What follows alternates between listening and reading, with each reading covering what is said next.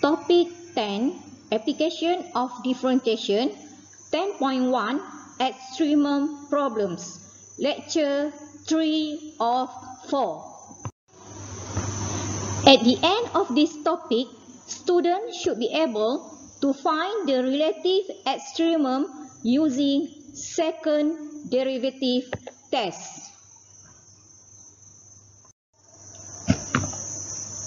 Second derivative test.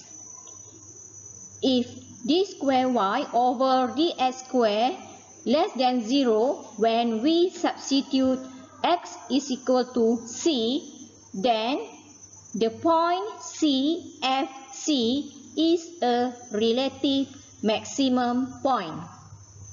If d square y over dx square greater than 0 when we substitute x is equal to c, then the point CFC is a relative minimum point.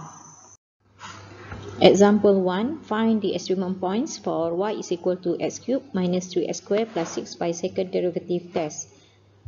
From the previous lesson, we already know that the stationary point are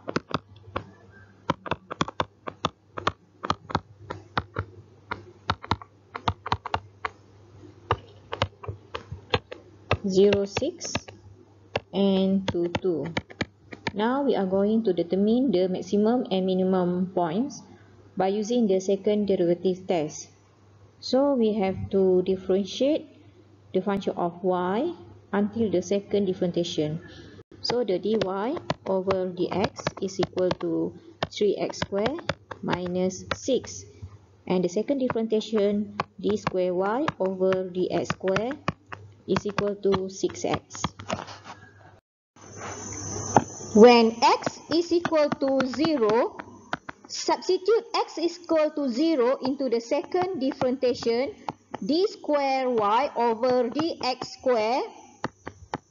So we have 6 times 0 minus 6 is equal to negative 6 and negative 6 is less than 0. When x is equal to 2, substitute x is equal to 2 into the second differentiation. So we have 6 times 2 minus 6.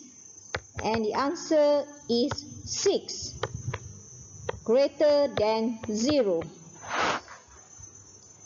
So now we know that 0 6 is a relative maximum point. And 2 2 is a relative minimum point